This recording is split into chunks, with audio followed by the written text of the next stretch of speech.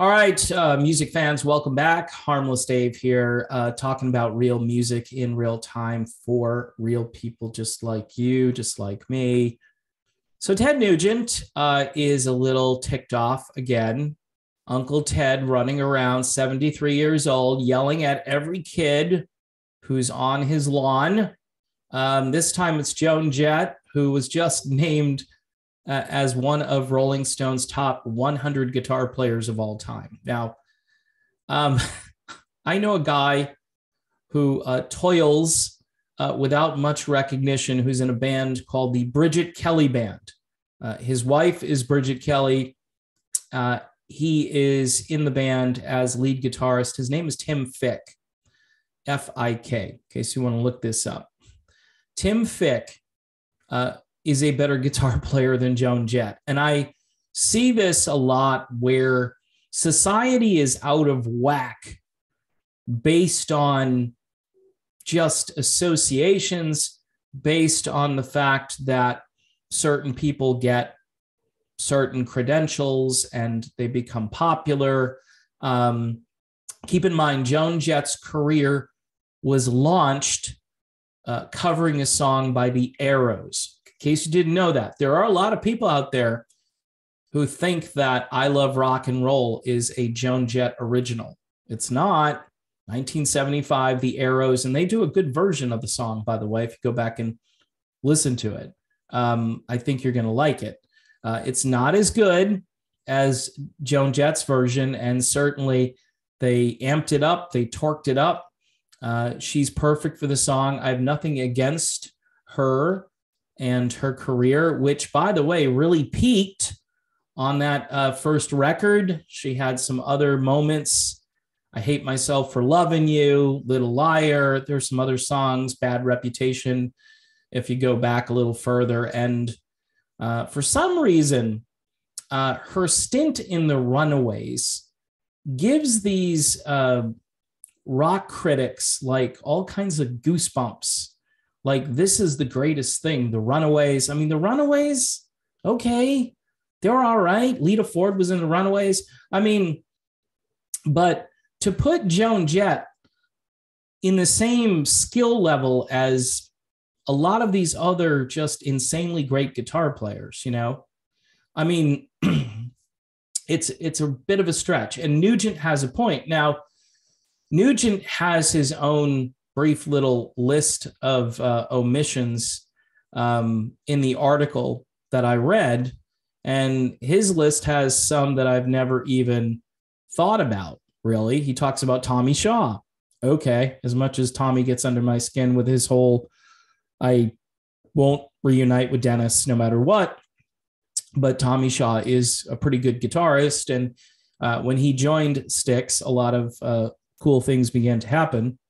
Not sure what happened to JY at that point, but uh, in any event, he goes on to talk about Rickey Medlocke, Dave Amato from REO Speedwagon, um, Dick Wagner, and the Frost from Detroit. Not really that familiar with. Uh, Mark Farner from uh, Grand Funk Railroad.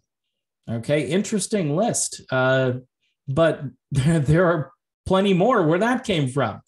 Um, look, here's the bottom line on this and you know where I'm going or you know why Joan Jett um, checks off a couple of boxes. And this is what is most important. Uh, they care more about her personal behavior, what she chooses to do with her life, uh, her status. I don't know. I don't want to get too close to what this is, but you know, right? Um, by the way, Nugent in the article says, I love these people. They're great. I mean, he said something like it's a fantasy of wonder or something like that. the, the kind of the lifestyle that Joan Jett chose or that she is, or however you view that. I'm not here to judge that. I'm just here to tell you um, she checks off boxes and she's a woman.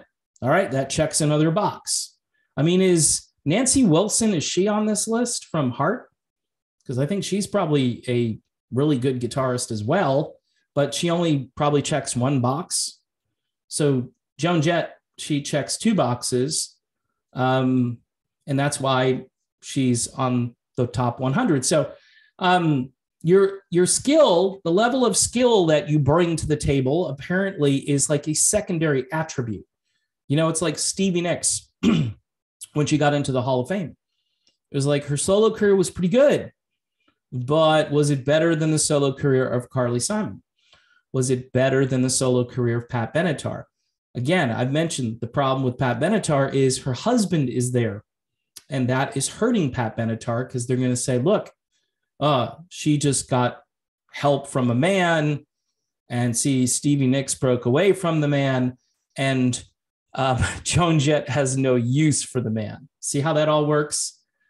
Uh, it's crazy. It's like we've inverted normal human interaction and we've made the stuff that's less apparent or less universal so accepted and so lauded and just way out of whack with reality that that is what people look at not their skill set remember my friend tim my friend tim can shred like nobody's business i would put him up against any guitar player. I watch him. I've seen him up close and this is the awesome thing too about going to a dive bar and watching a beast blues guitar player with boundless energy and decades worth of playing under his belt with no press with um you know no ink. Nobody's talking about tim fick uh, nobody's going to be going out and buying you know um bridget kelly albums by the truckload i wish they would i mean it's not everybody's cup of tea I've got to be in a certain mood for it. But Tim on every song never disappoints me. Just an amazing player. And nobody knows who he is. And you probably know somebody locally who can uh, play circles around Joan Jett, or maybe not. I don't know. Maybe Joan Jett is better than I think she is. I don't think she's bad. I just think she does what she needs to do. She's one of those guitar players that is able to do what she needs to do in order to um, keep her career going and uh, to perform the music that she performs. Are there any like memorable Joan Jett guitar solos that you can remember? I mean, when it comes to great guitar players like David Gilmour, I mean, who can forget like Comfortably Numb? I mean, there are certain songs that you know, and you go, yeah, that's See, this is about leveling the playing field. We need more ladies. We got to find ladies, even if they don't, you know, um, measure up in some ways. We need more ladies in there to to show that we're virtuous and that we're compassionate and that we understand. And then we need more ladies that don't like men because that even shows more how much we care about making things right. So Nugent, um, he doesn't come out and say those things. He basically complains that again, and you can you can do both. You can complain that this is some kind of a quota system that they need to to represent and fill, and you can make the point where uh, it's like the Rock and Roll Hall of Fame. All these bands that aren't in, and these other people get in, and you're like, but you didn't put this band in you know, and I could go on and on about that, and I have. So, you know, I don't know. The top 100. Here's here's the thing about music, right? To some degree, it's very subjective, and then you've got different styles. You've got guys like Joe Satriani. You've got guys like Eric Clapton. You've got guys like Steve Vai. And you go on down the list of guitar players, and everybody has a different style most of the blues rock guitarists that I listen to, and I do on a regular basis, they blow most of uh, the rock world out of the water because they're doing so much more with their guitars. And this song is built around the fact that they're going to kill you with a solo. They're going to blister you throughout the song. Um, in any event, Joan Jett, big guitar riffs, cool riffs at times, um, decent songs. I mean, these are rock anthems to some degree, going back to the Runaways and right through her career, which, uh, quite honestly, is her catalog of radio friendly stuff and even album rock radio friendly stuff, probably less than 10 songs. And you really got to kind of look around for those songs. Um, maybe 10, 12 maximum. But most everybody, I love rock and roll, baby. Put another dime in the jukebox. Okay.